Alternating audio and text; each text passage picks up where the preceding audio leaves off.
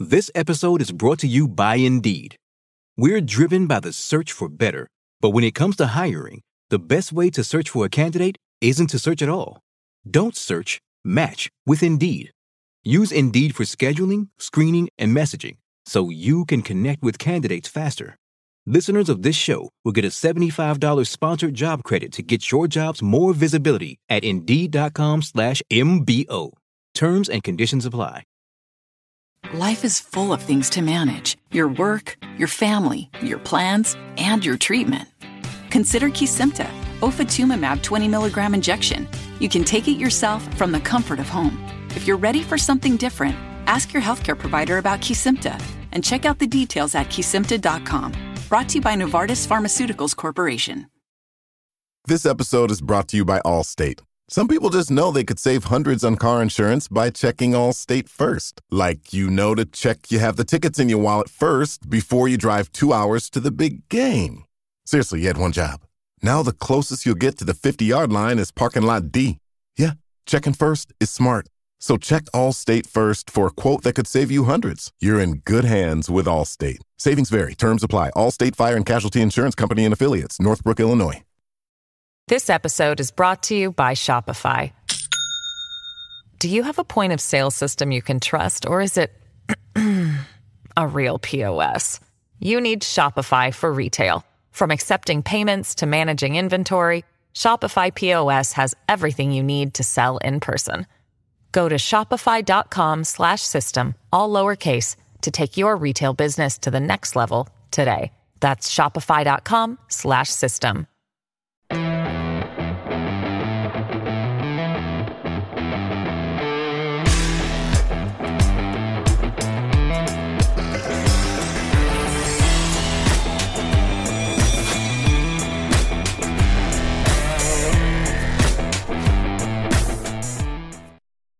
Welcome to the chalkboard, my fellow football nerds, for episode number 171 of Chalk Talk.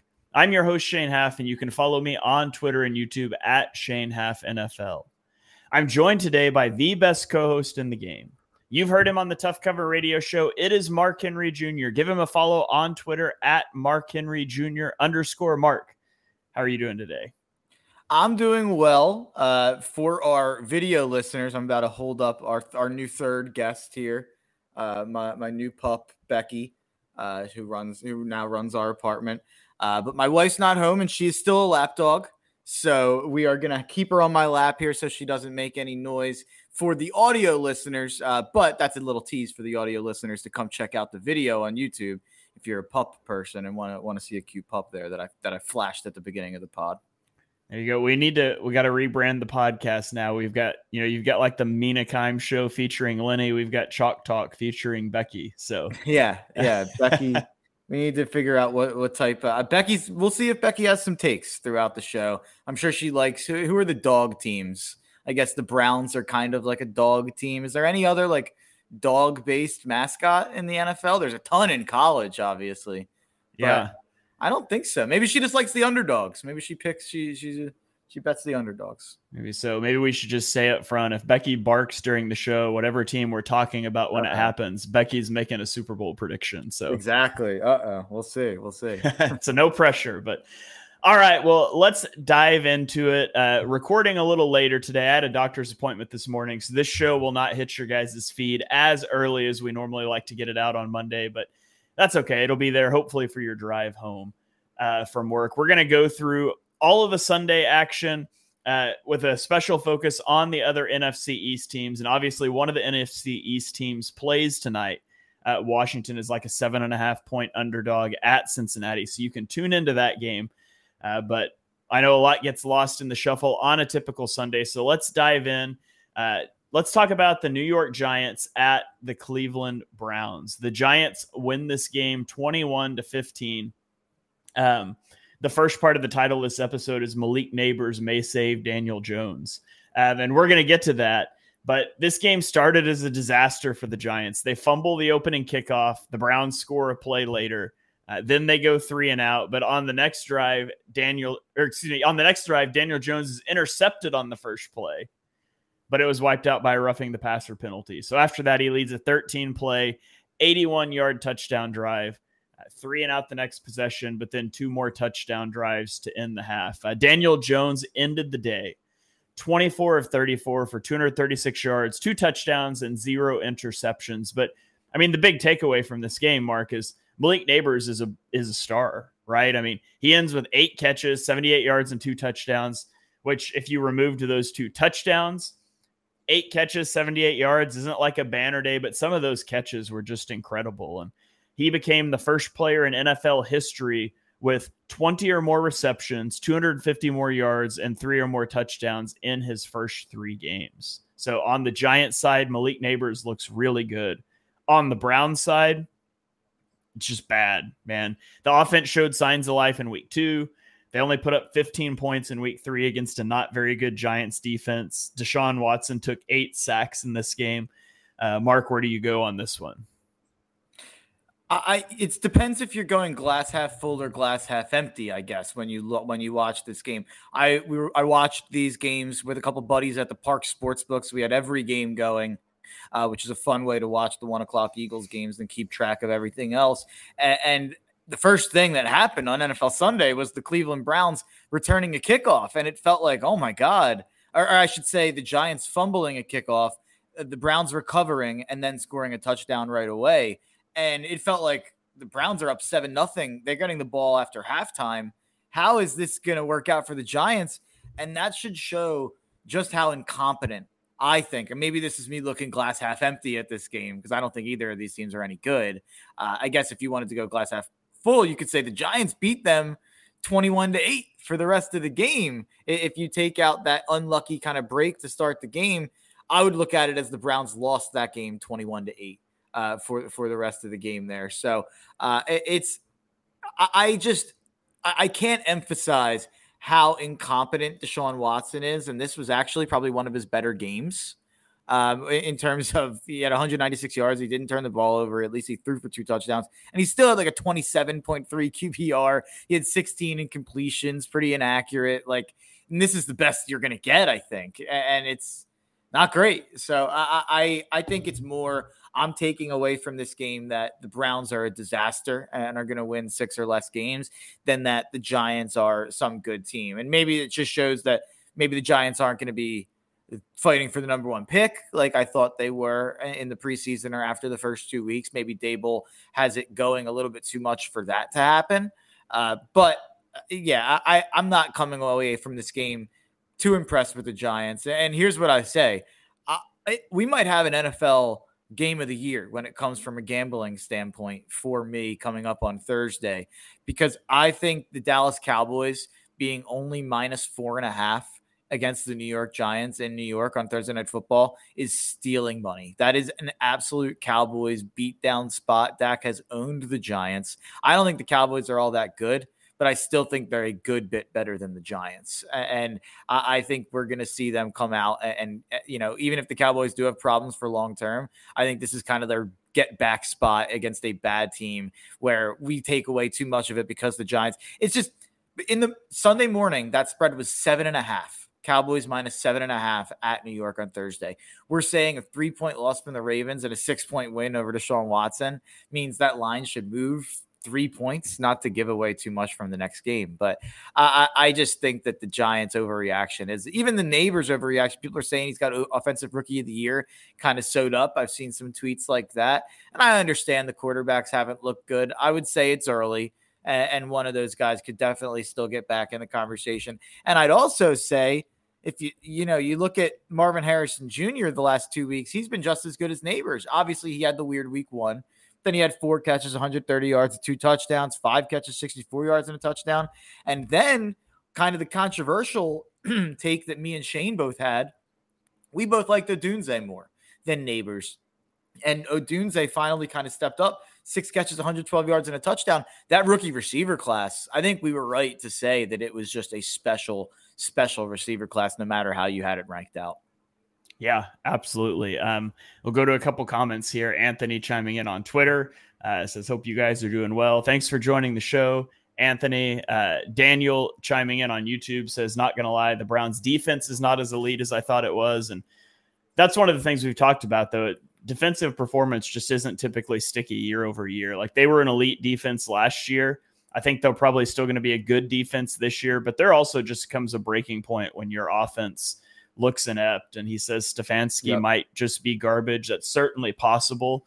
Um, it's all, it's also like an established fact that Deshaun Watson is. So it's a tough situation there in Cleveland for sure. But let's move on to Dallas, who is also in a tough situation uh, at one and two. And Mark, you and I both predicted that we thought one of the Cowboys or the 49ers could have a disaster season incoming, and they both sit at one and two after two weeks. But Dallas loses this game 28 to 25. And Mark, there's going to be scientific studies conducted about the Ravens in the fourth quarter.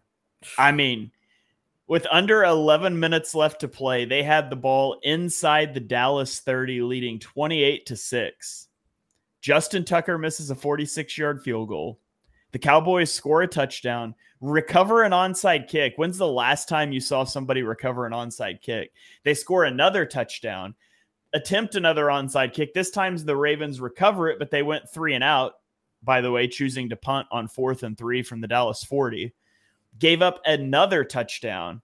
And then mercifully, they managed to pick up a couple of first downs and run the final three minutes off the clock. But the Ravens about blew yet another fourth quarter lead in this one. And I don't know what the deal is with them, but this seems like a weekly thing almost. Um, the Cowboys' run defense remains a major problem. They allowed 274 rushing yards on 45 attempts.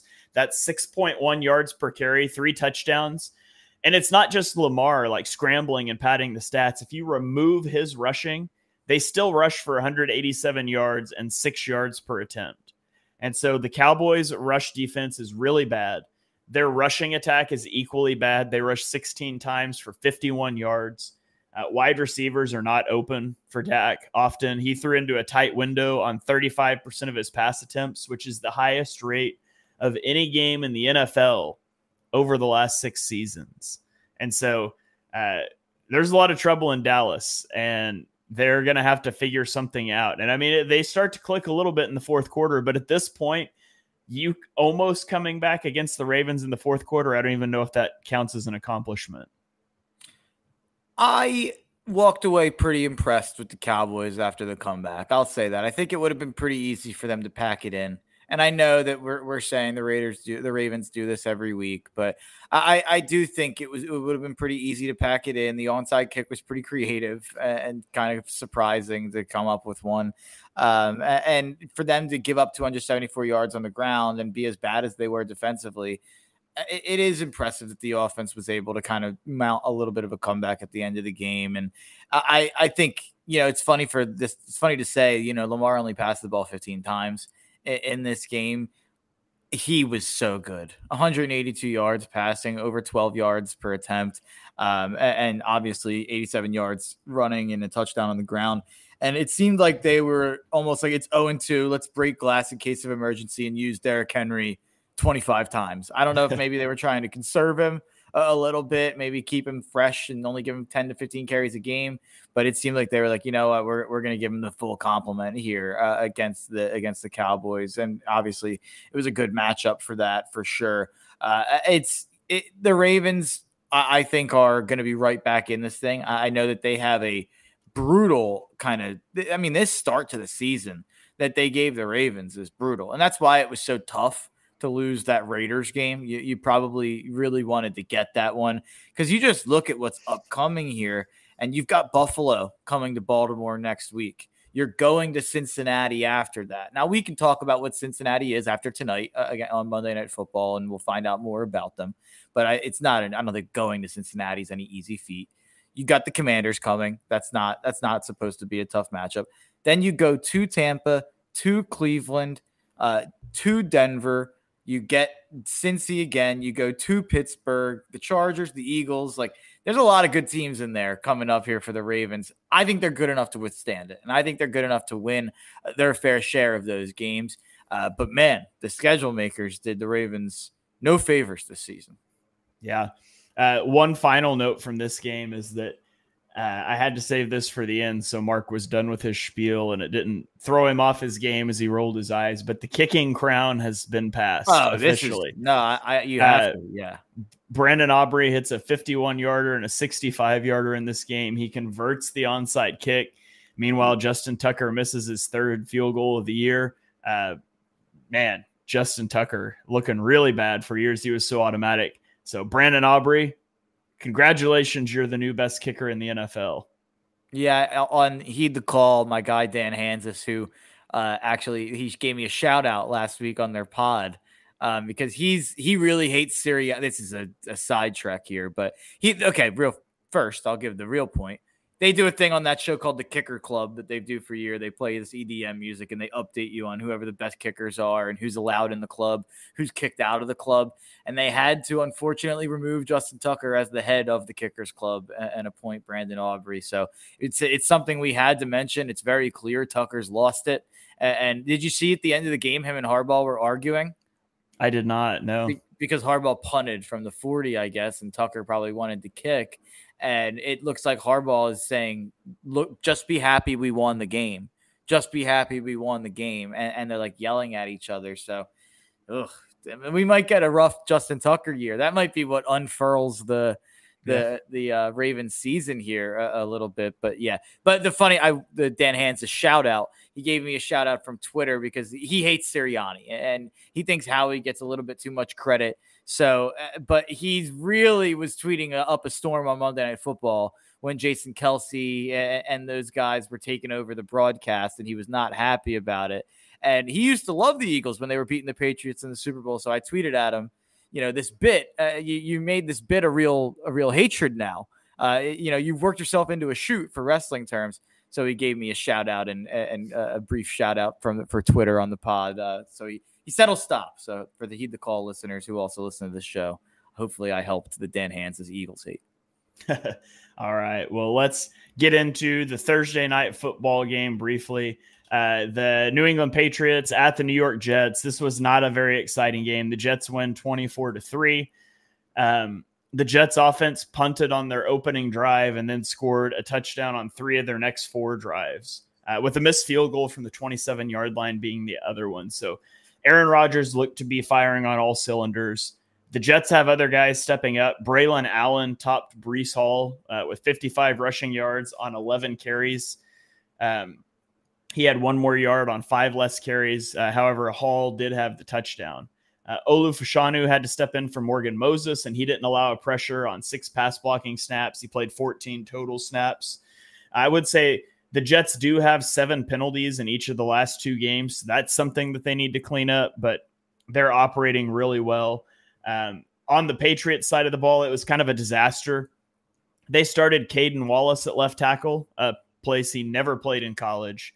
And the Patriots took seven sacks against the Jets, who were playing without Jermaine Johnson and still without Haason Reddick.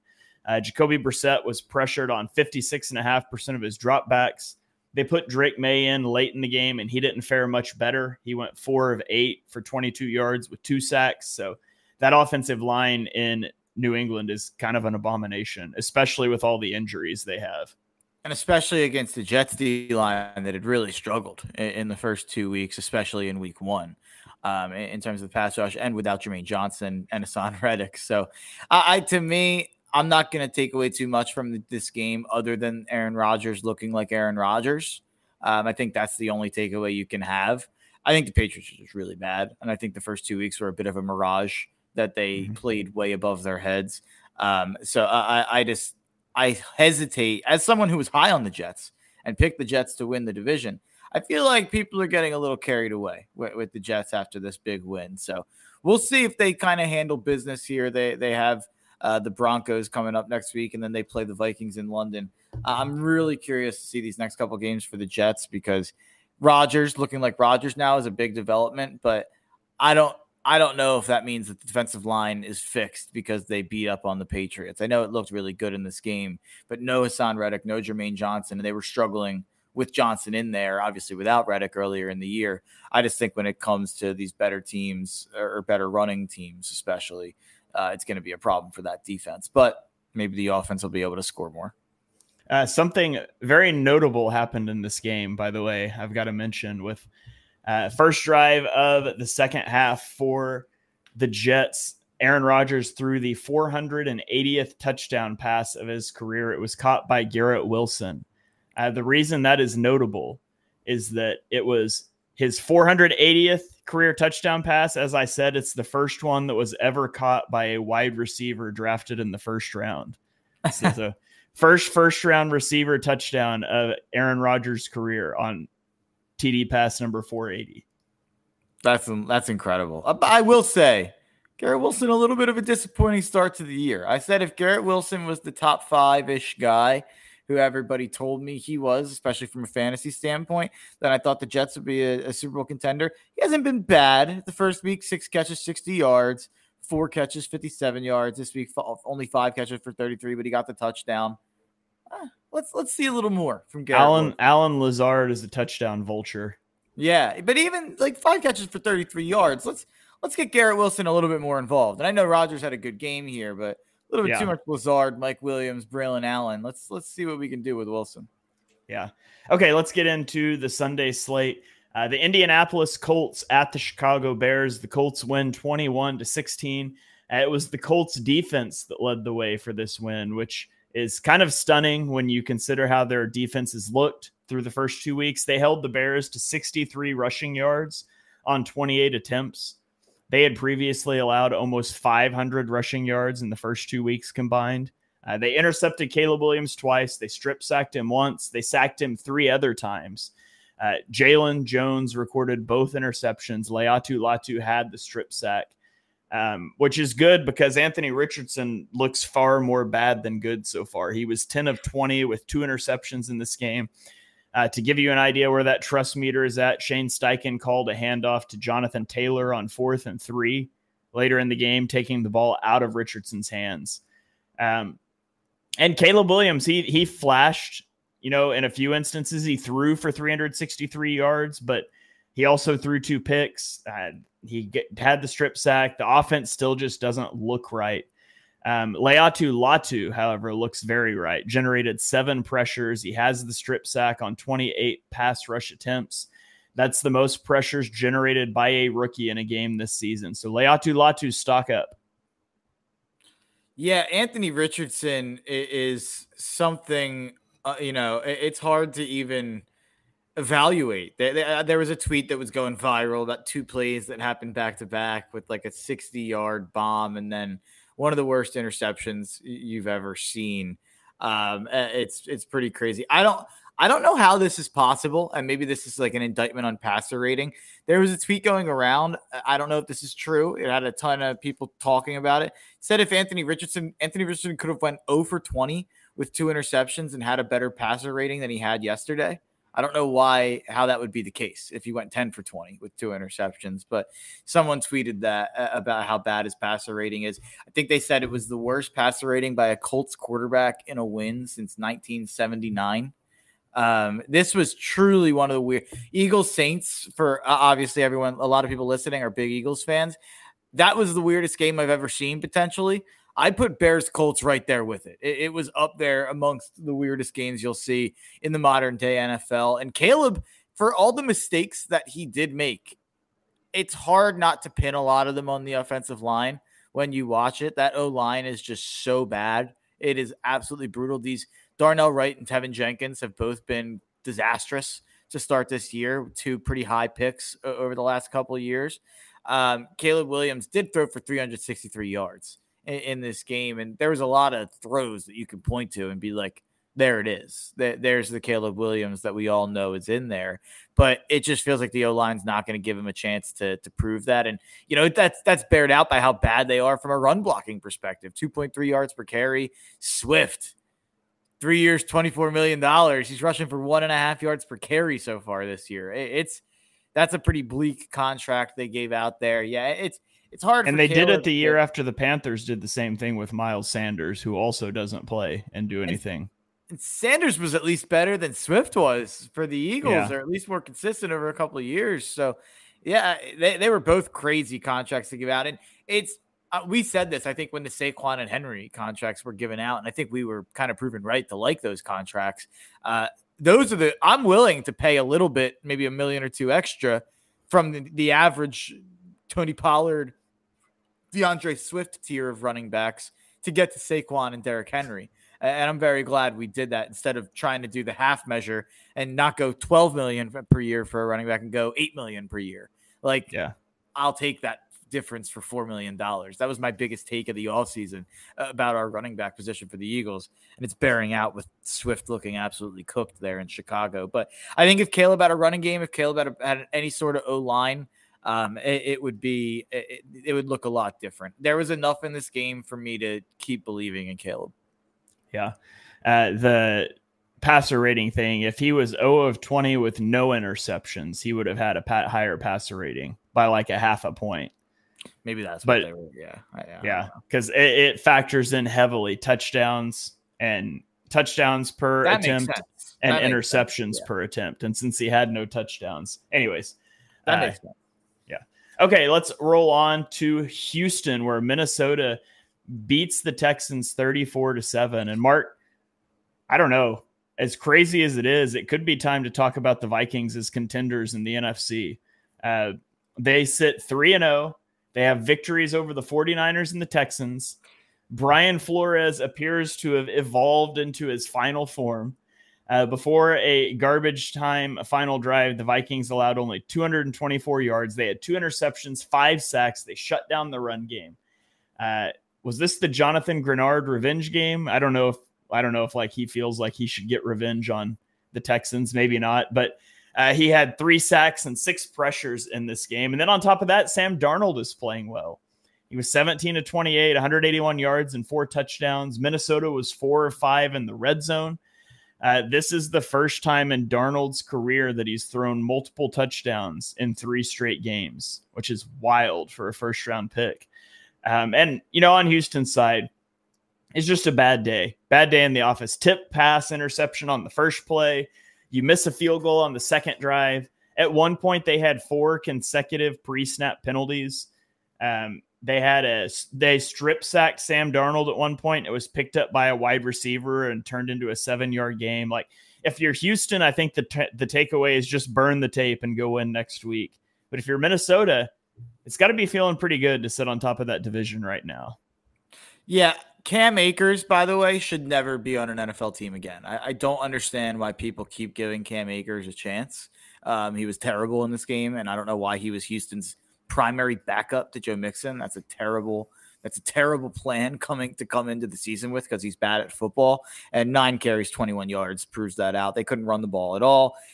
And this, I know that there's a lot of attention being paid to Brian Flores and um, and everyone's talking about how good of a job he's doing. Somehow, I don't think it's enough attention mm. being paid to how insane this is what he's doing. He is th- this defense is not that talented. They mm they really are not. I mean, we came into the year talking about this team could be one of the worst secondaries in football. And, and we talked about some of the other teams that were in that running. Those have bared out. The Commanders that bared out. The uh, the the uh, um, it's blank. The Colts secondary has not been very good. We've seen a, a, lot of these teams that we pegged as having terrible secondaries come out and prove us right.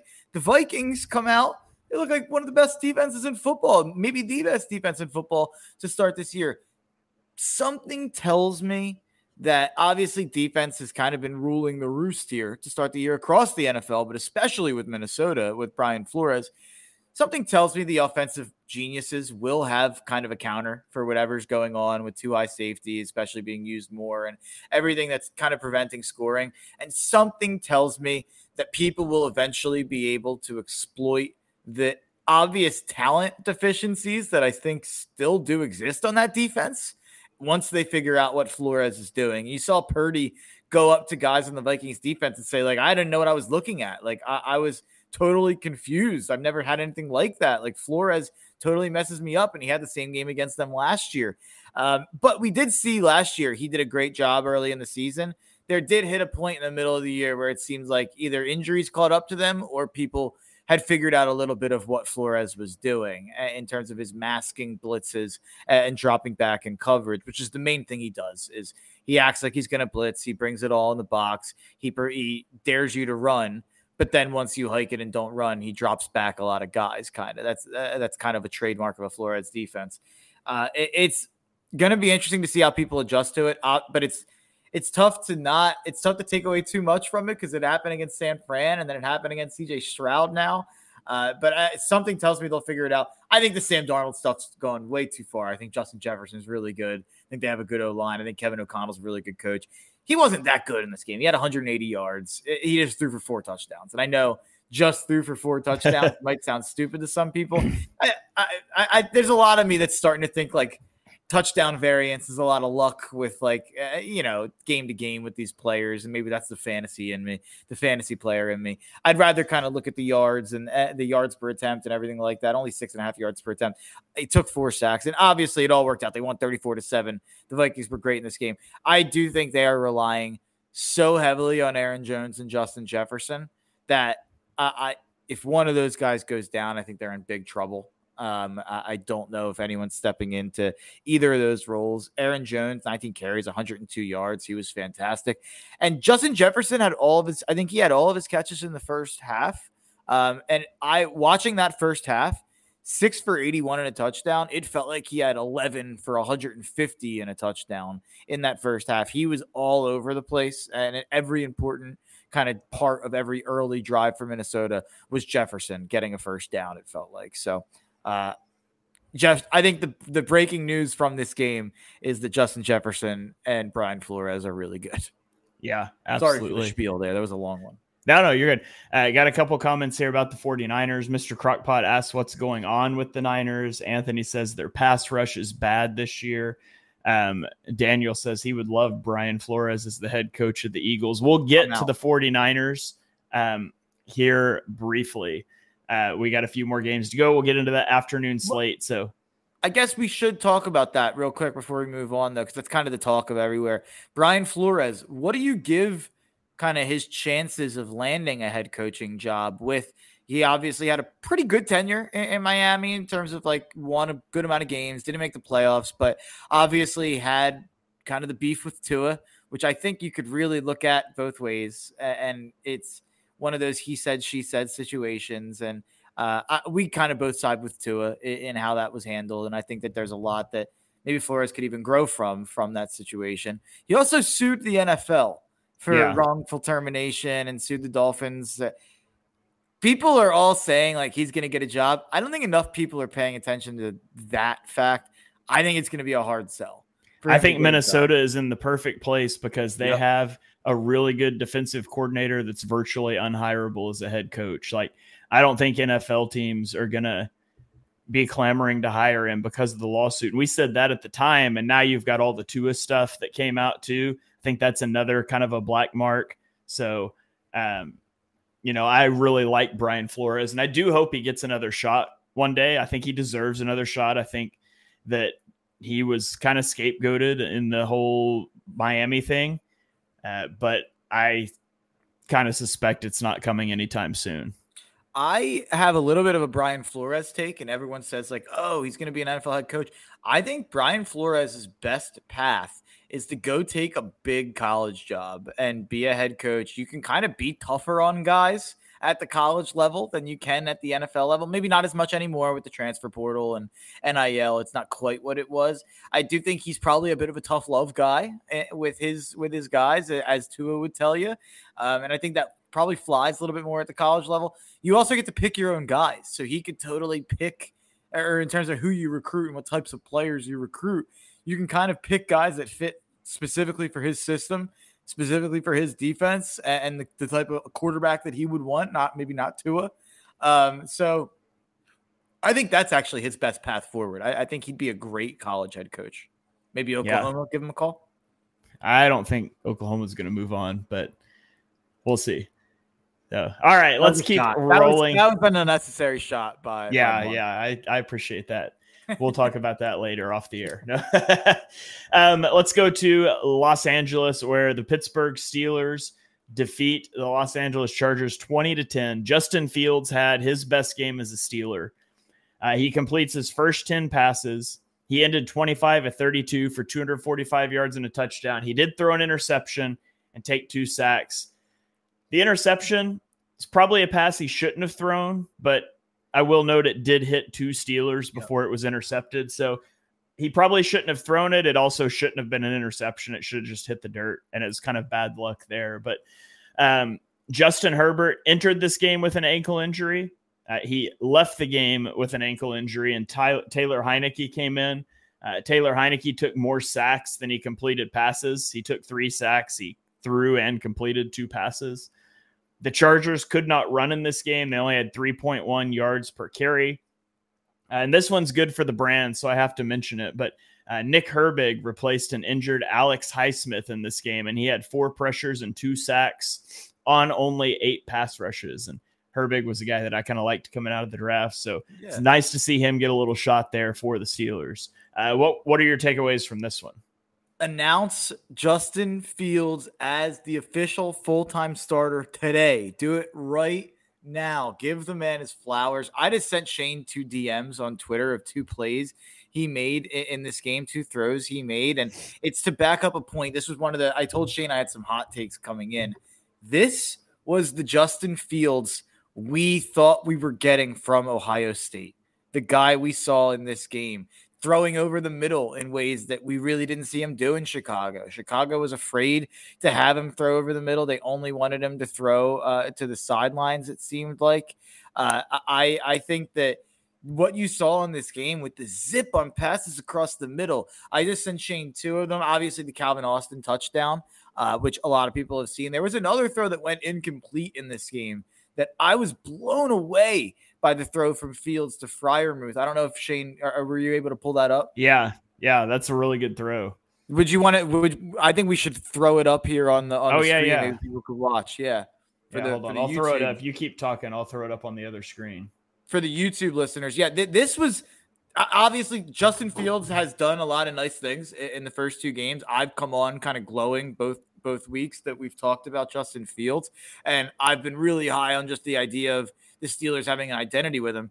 That's if we'll we'll we'll play it back from the start again. But here's Justin Fields throwing to Freiermuth across the middle through a window of like three guys and fits it right in. Freiermuth ends up dropping it because he, he can't complete the ground, uh, can't complete the catch to the ground. But it's a pretty incredible throw from Fields. And that's the kind of stuff you saw all the time at Ohio State. And it's why I think Shane and I were dumbfounded at times in Chicago why they were being so conservative with him and why they weren't letting him kind of do the things we saw so up much. And then here's obviously the throw across the middle to Calvin Austin, very similar type of throw. And then Calvin Austin goes and makes a nice play with it after the catch, but Fields kind of throws him open as well in, the crosser there. I loved everything I saw from Pittsburgh in this game, from TJ Watt being so dominant, from Fields making these types of throws that we just didn't see him make in Chicago. I, I am so high on this Steelers team to the point where I think they I, I give me the Steelers as a contender before the Vikings. How about that for a take? All right, I like it.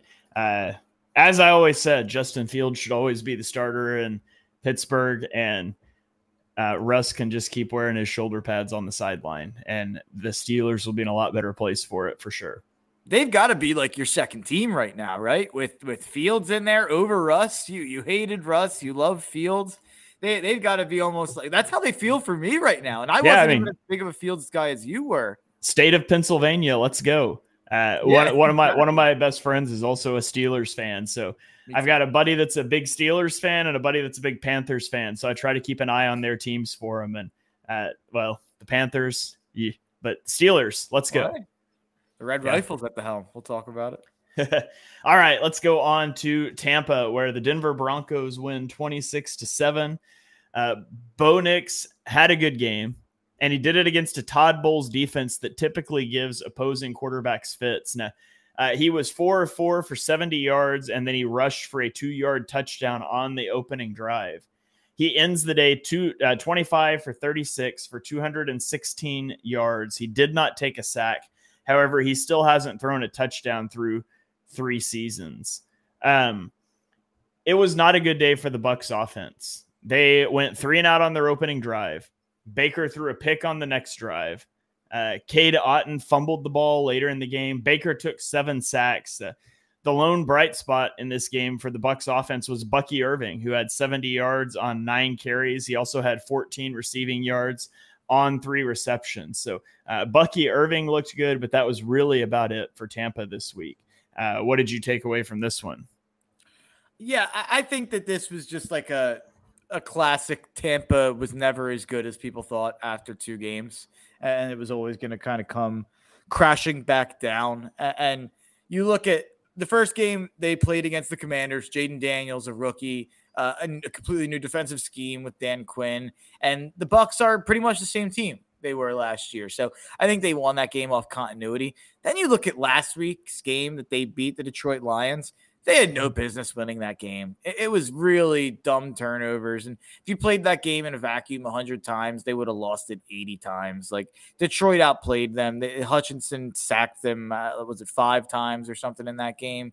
They, they should have won that game. Tampa was absolutely lucky to win it 20 to 16.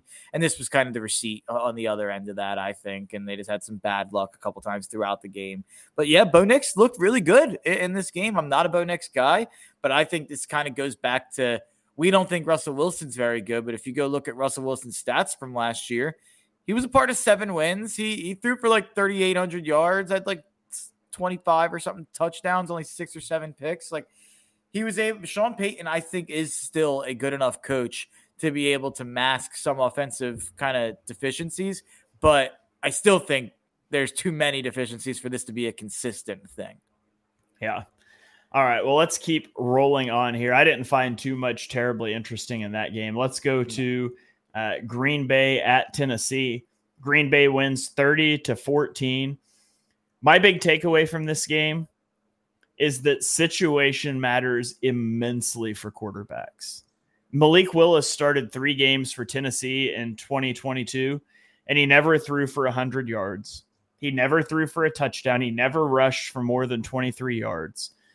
In this game against his former team, he was 13 and 19 for 202 yards and a touchdown. He rushed for 73 yards and another touchdown.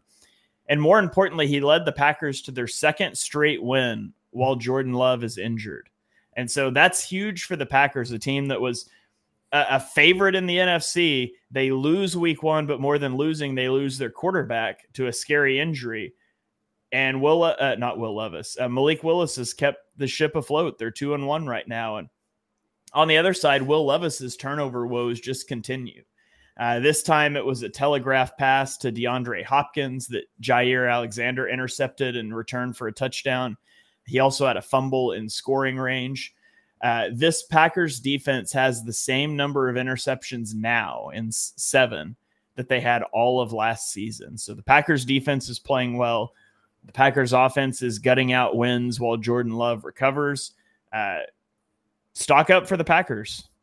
Yeah, I, I think it's worth taking a sniff on Packers 10 to 1 to win the NFC, even maybe 25 to 1 to win the Super Bowl if you want to get frisky. And this isn't me overreacting. Me and Shane both kind of thought that coming into the year, Green Bay was one of the contenders in the NFC. And I, I still feel that way, especially even more so now seeing what they've been able to do without Jordan Love, I think it supplants Matt LaFleur as truly one of the best coaches in the NFL. And I think Jeff Hafley doing a great job as a defensive coordinator. He left uh, Boston College as the head coach to come be the DC for Green Bay. And I, I, think it's really paid off here so far for Green Bay. And obviously, you said the turnover stat there, and that's a big part of that. But they're also able to really run the ball and kind of control the clock. And they've been able to do that in these last two games with the quarterback. But also, Josh Jacobs looks kind of like the Josh Jacobs we saw a couple years ago.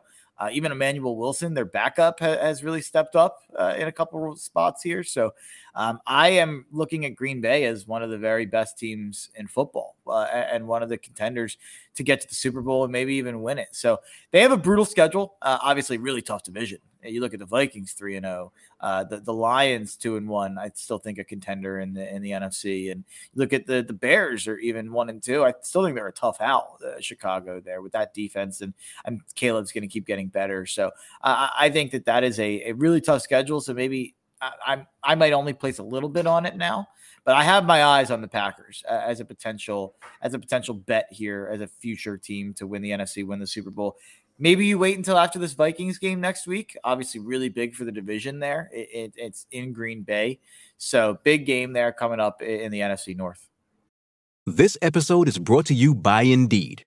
We're driven by the search for better, but when it comes to hiring, the best way to search for a candidate isn't to search at all. Don't search. Match with Indeed. Use Indeed for scheduling, screening, and messaging so you can connect with candidates faster. Listeners of this show will get a $75 sponsored job credit to get your jobs more visibility at Indeed.com slash MBO. Terms and conditions apply. eBay Motors is here for the ride. With over 122 million parts, you can make sure your number one ride or die stays running smoothly. Brake kits, LED headlights, bumpers, whatever your baby needs, eBay Motors has it. And with eBay Guaranteed Fit, it's guaranteed to fit your ride the first time, every time. Plus, at these prices, you're burning rubber, not cash. Keep your ride or die alive at ebaymotors.com. Eligible items only, exclusions apply. This episode is brought to you by Shopify. Do you have a point of sale system you can trust, or is it a real POS? You need Shopify for retail. From accepting payments to managing inventory, Shopify POS has everything you need to sell in person. Go to shopify.com slash system, all lowercase, to take your retail business to the next level today. That's shopify.com slash system. This episode is brought to you by Pillsbury Toaster Strudel. Make every morning a memory with Toaster Strudel, a fun, convenient, and sweet part of breakfast. Made with sweet filling, creamy icing, and flaky crust, and prepared in minutes in the toaster, oven, or an air fryer. They're the perfect answer to your on the go breakfast needs. Mornings are better together with Toaster Strudel. Pick up Toaster Strudel on your next shopping trip. Yep, absolutely. Uh, let's get into the Sunday afternoon slate. We've got five games remaining here. Uh, Carolina Panthers at the Las Vegas Raiders. They win 36 to 22. Uh, Andy Dalton walking down the field for 70 and 75 yard touchdown drives on two of the first three possessions really uh, tells you everything you need to know about Bryce Young at this point. Uh, Daniel or Dalton ended the game 26 to 37 for 319 yards, three touchdowns, no interceptions. He took two sacks. Uh, Diontae Johnson had eight catches for 122 yards and a touchdown. Chuba Hubbard had 114 rushing yards. Uh, so the offense clicked here for the Panthers. It was the first time a Panthers quarterback has thrown three touchdowns in the first half of a game since Cam Newton did it back in 2015. So on their side, went really well. On the Raiders side, not so much. Gardner Minshew really struggled on the day. He was 18 of 28 for 214 yards and a touchdown, and he threw an interception.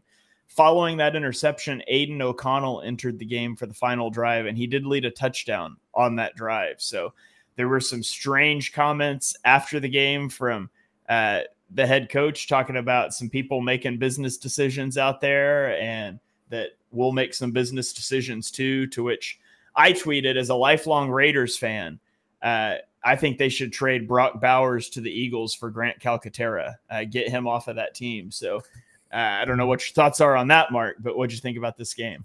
I actually think that quote was about Jack Jones, uh, their cornerback. I saw two two tweets out there with him totally just like a guy was like being wrapped up by someone right next to him and he kind of went and like stood next to them instead of like actually joining the tackle and trying to tackle a running back. So a couple pretty rough tackling attempts it looked like. And then I also saw some Tyree Wilson uh, some people saying Tyree Wilson looked like he wasn't running at all uh, to try to uh, try to get running backs towards the end of the game. So uh, I think that I think Antonio Pierce probably focused on the defense. So I think there's been a lot of people a lot of people are, uh, have attributed that to Davante Adams.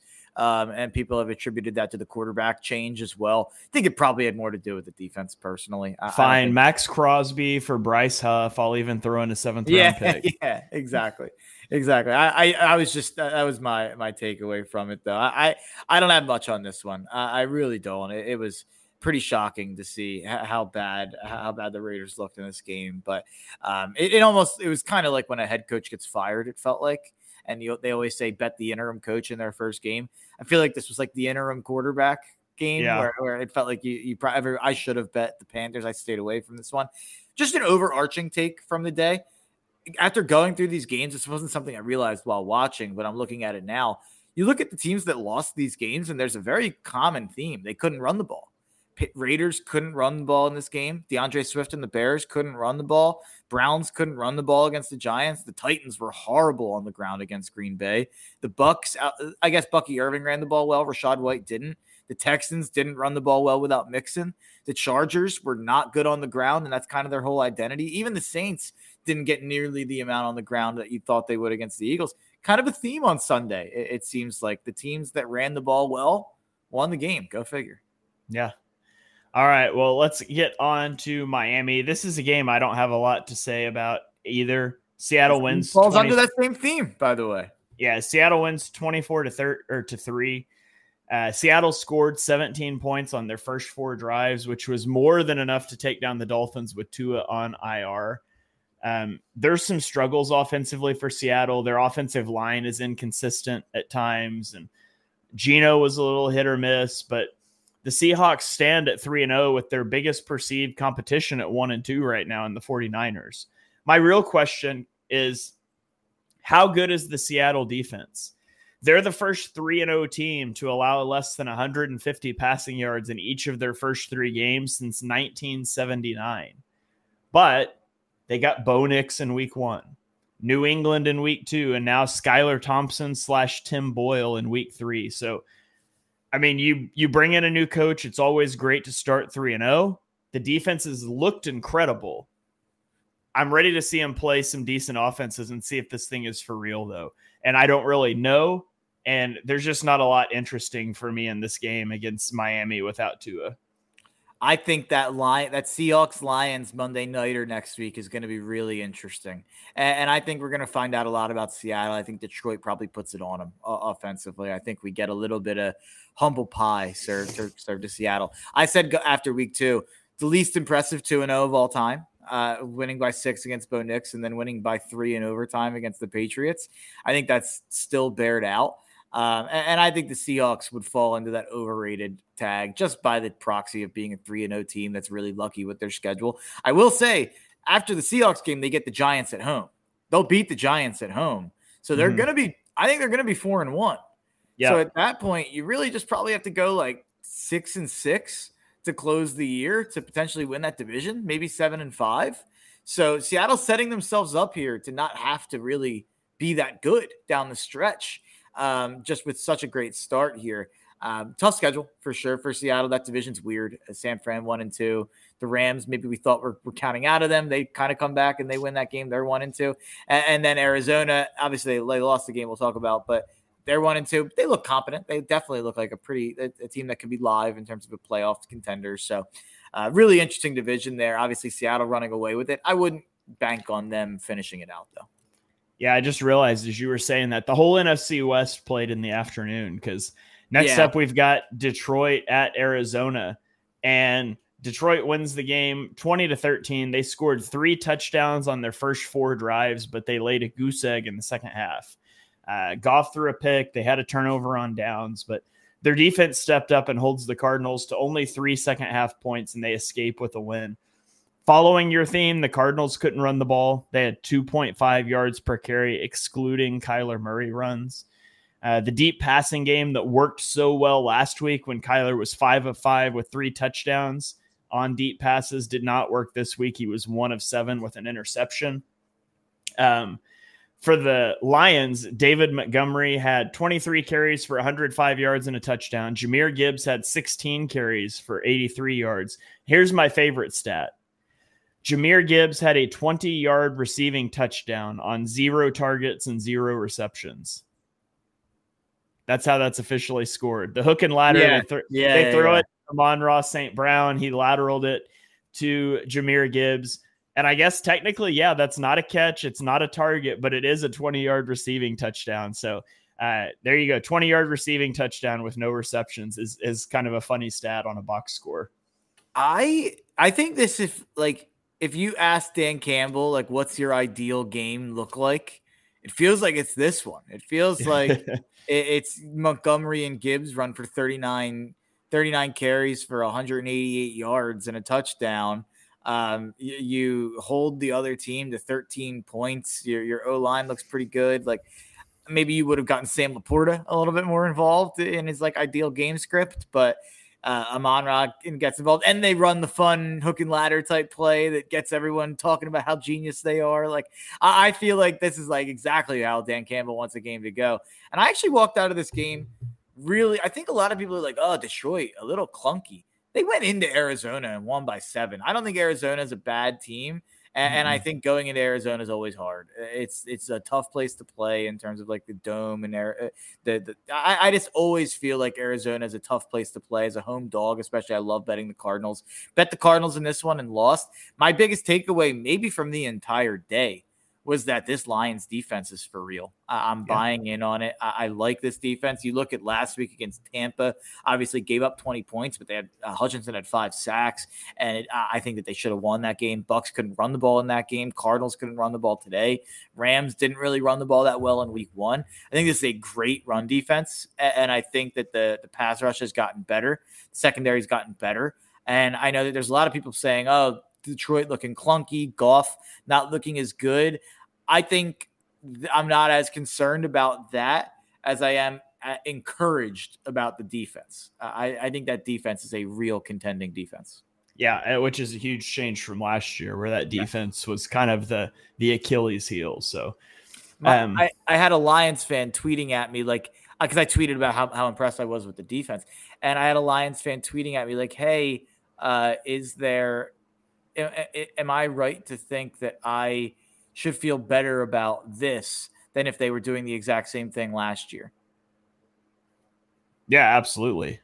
Because I have a lot of confidence in uh, Ben Johnson and in that offensive line. And so we see every year that offenses can struggle a little bit early yeah. on. And I'm I'm fine with that if I'm a Lions fan. I'd feel a lot better about where you're at right now than where you were at down the stretch last year.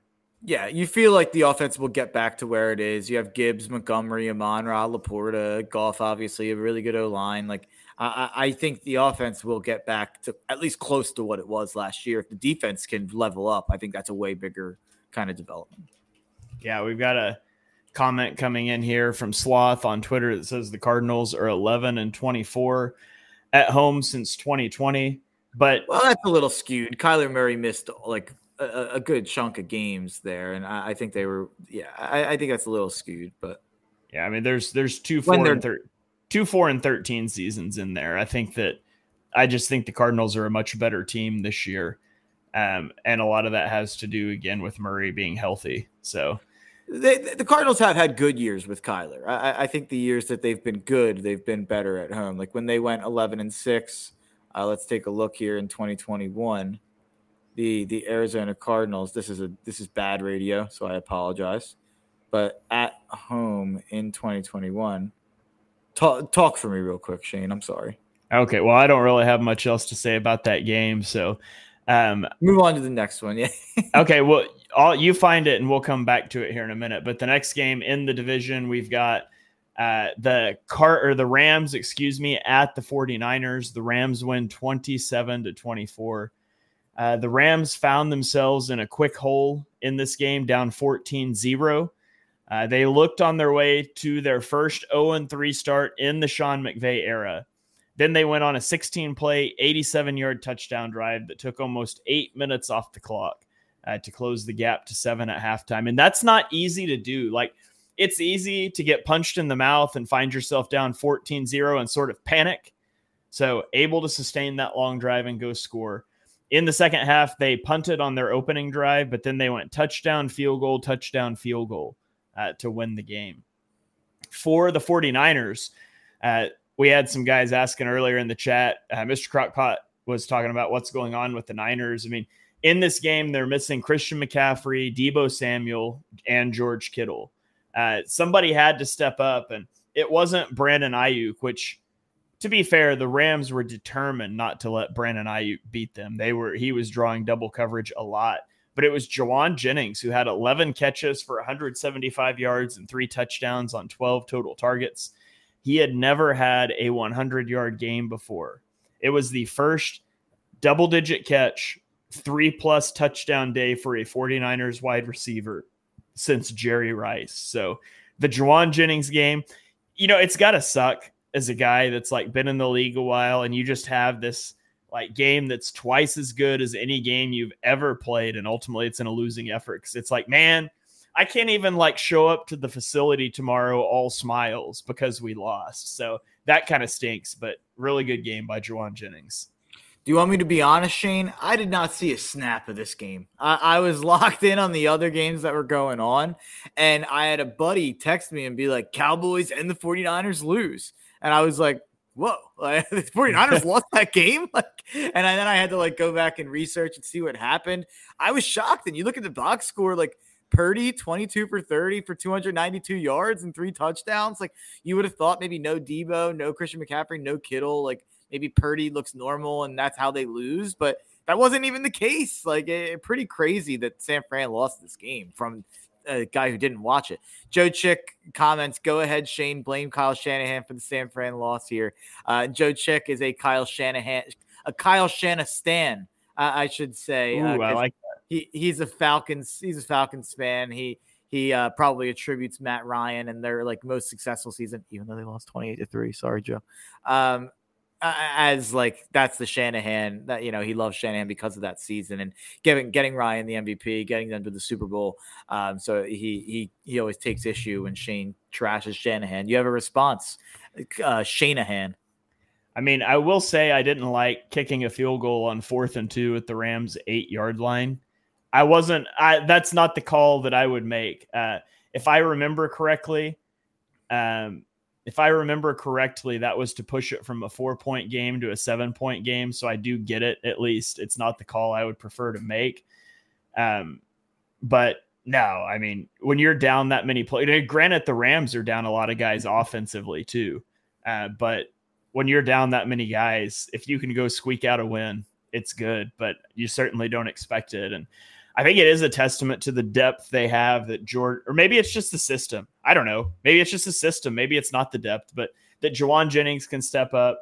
That uh, oh crap, what's the running back's first Jordan name? Mason. Jordan, yeah, Mason. I knew Mason. I was thinking, yeah, Jordan Mason has been able to do what he's been able to do. So I ultimately, I ultimately think the 49ers will end up being fine if they can get healthy and stay healthy and you know, down the stretch when you get to January football, Christian McCaffrey missing a month early in the season might be really good uh, if he's fully healthy then and his legs are a little fresher. But they don't look like the same juggernaut, and maybe it will all collapse. Um, if they were losing these games fully healthy, then I would say it's time to cash out on those.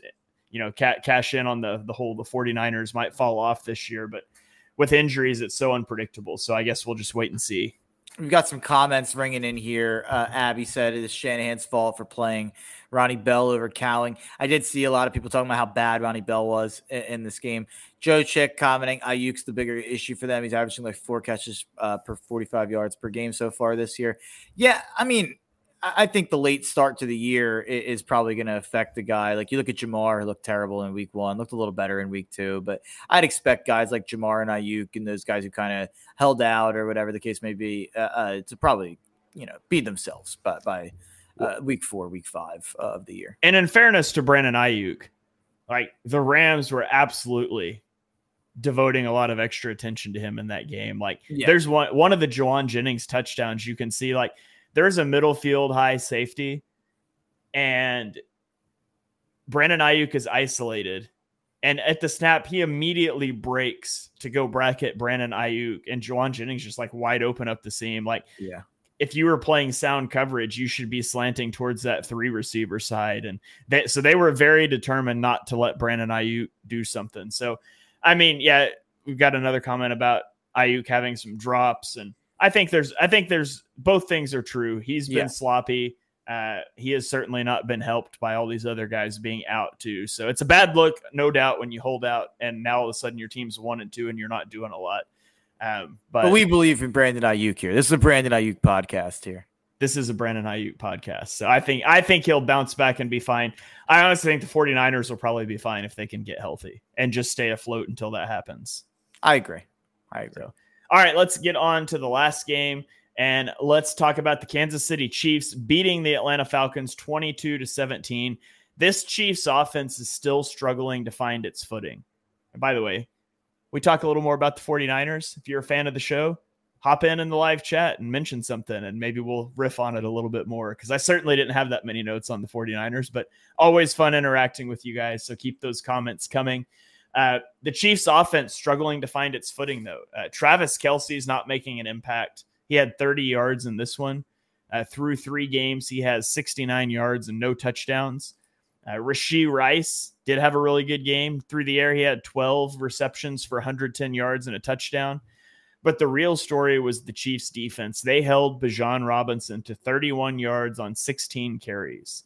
Tyler Allgeier had 32 yards on seven carries. Uh, so he fared a little bit better, but the Chiefs pass rush came alive too. They they had really struggled to generate pressure through the first two weeks of the season. And the Falcons had not allowed pressure through the first two weeks of the season, but they pressured Cousins on 42% of his dropbacks in this game. Uh, the Falcons scored touchdowns on two of their first three drives, but they only scored three points the rest of the game.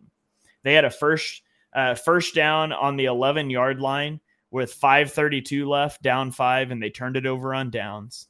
They got a three and out, and then they drove to the Kansas City 22 with a minute 44 left, and then they ultimately turned it over on downs after they were stuffed on both a third and one and a fourth and one. Uh, so the Falcons were there. Like there were opportunities for them to go knock the Chiefs off here. Uh, it ultimately just didn't come to fruition. What did you make of this one?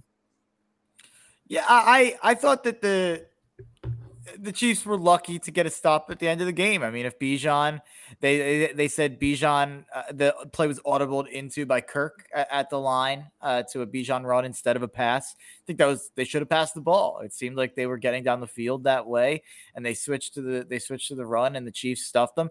My biggest takeaway from the game, though, is the Atlanta Falcons. I was big on them as a potential team that could win the NFC, and I have bets on them uh, to do so that I, I think after a couple weeks I was looking at to burn, especially after week one. But after three weeks, they lost a really close game to Pittsburgh, who's now 3 and 0. They beat the Eagles um, uh, in Philly, whether or not we think that they deserve to or not, or if they were a huge part of it, or if we lost the game, that's a different conversation. But uh, no. Nope. It looks like we lost Mark for a second. So we'll see if Mark pops back in here. I briefly heard an oh no as he started to freeze, which is always funny when that happens in live podcasting. But I'll pick up there. We've got a comment coming ask, coming in asking if the Falcons are better than the Saints. I mean, that's so hard to tell through three weeks of the season. Uh, here, Mark is back on his phone. Uh, Mark, uh, finish your train of thought and tell me if you think the Falcons are better than the Saints too. Yeah, I would I would say so. I, I like them minus one and a half this week uh, against the Saints uh, at home. I think that line should be more like minus three, minus three and a half. I think they're a slightly better team. You look at the at the Falcons being one and two with two really close losses. Maybe they probably should have won the Kansas City game, and maybe they should have lost the Philly game, but that evens out. Maybe I should have not placed any of those Falcons wagers until after week three because we knew coming into the year that Steelers, Eagles, Chiefs was a pretty tough way to start the season. And you look at the rest of the way, a lot of NFC South teams to play, obviously, six of them. Um, you have some other easy games sprinkled in there.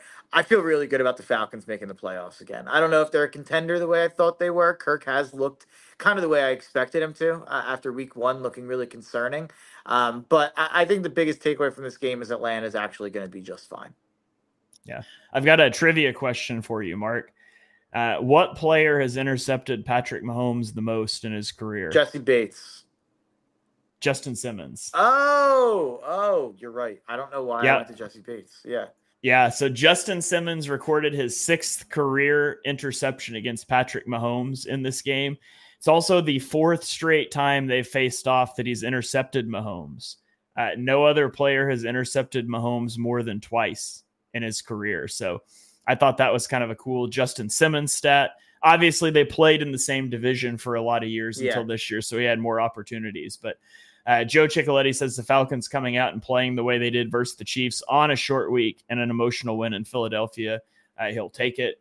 Uh, yeah, we had a comment for Simmons coming in from the chat on the trivia question. So, uh, anyways, there you go. That is our look at the week three NFL slate. Uh, Mark, obviously, two Monday night games tonight that we're not talking about. They haven't happened yet, but uh, Eagles fans can keep a close eye on that Commanders Bengals game tonight. Uh, do you have any final thoughts for the people? Uh, did Becky ever bark for a, a, Super Bowl favorite during this podcast? Anything you need to leave with the people? Nah, she thinks all these teams stink. This whole NFL stinks. Uh, everybody stinks. Uh, no, but I'll just say I, the only bets I like tonight are Josh Allen anytime touchdown and Jayden Daniels anytime touchdown. Um, I'm not on any side in the game it does feel like Jacksonville's got to come out and play desperate, though, right? It, it, I think they've got to stay in this game at least. You've got to see something from Trevor in that offense that makes you feel good going forward. I'd really like to see Jacksonville step up in that game, whether it's a win or even just looking good offensively. And then Washington, you just want to see, I, I like Jayden Daniels, how how he keeps developing. Um, I actually think he that's the more interesting side of that game. I think Cincy probably gets right and wins the game, um, but I'm just interested to watch Jayden Daniels. So Josh Allen touchdown, probably my favorite of the two. Uh, I think it's around minus 110. They can get Jayden Daniels plus 150, uh, but I, I feel really good about Josh scoring this week after he didn't last week. It's almost like Jalen Hurts touchdown. All right. Well, there you have it, folks. Thank you for joining us for episode number 171 of Chalk Talk. If you enjoy what you heard on the show, and we know that you do, smash that subscribe button on the Eagles Pin Pull Network so you don't miss any of our episodes. We've got six long form shows a week as well as daily updates about the Eagles. Drop us a five star rating wherever you stream your podcasts. Uh, you can follow us on Twitter. I am at Shane Half NFL. He is at Mark Henry Jr., and we will catch you guys next time.